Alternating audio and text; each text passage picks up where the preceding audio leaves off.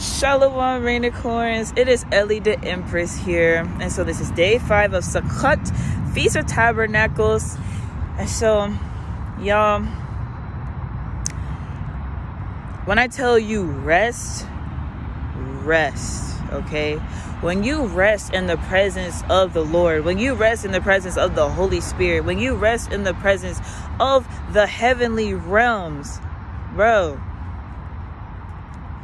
that ability to restore, that ability to gain back power, that ability to do what you need to do, the ability to just see your children happy, the ability to not just, you know, everybody want to manifest this, manifest that. My guy, like, it's not about getting tangible items. Are you enjoying the energy? Are you enjoying your life? Are you enjoying just being? Are you enjoying? Are you enjoying? Are you rejoicing?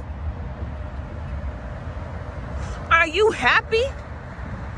Are you able to look at your situation? You don't even have to compare to somebody and be like, well, at least I'm not doing as bad as them. No. Are you happy for your situation? I'm doing better than I was doing before. I know more than I know before. I know better than what I knew before. I know that things are changing. I see the evidence of things changing. I'm able to crack this matrix. I'm able to move through. I'm able to push through. Am able to push through. I am able to get through to the higher realms where I was kept down in these lower realms. Everything around me is trying to keep me in the same position, in the same spot, and I am pushing through. I'm going to the next step, I'm going to the next level. Are you able to rest and sit in that? Are you able to rest and sit in that energy of I did it? I did it. My spirit, my spirit guides are behind me.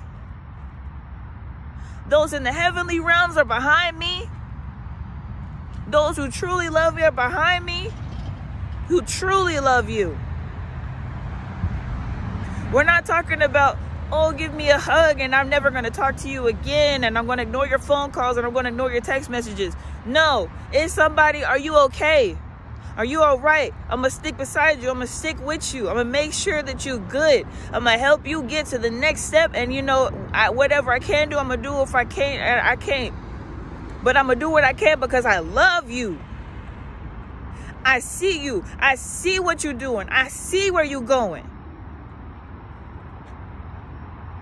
I'm not trying to use you. I'm not trying to get nothing off of you. That's love. Are you able to sit in the fact that you have manifested people like that in your life? Are you able to sit in the fact that you know who you are now?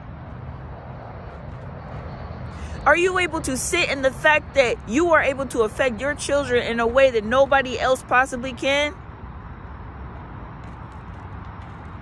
Your children are a direct reflection of you, and they're able to reflect the fact that you don't give a fuck about none of this shit, and you are able to ascend past where anybody ever expected you to even want to be.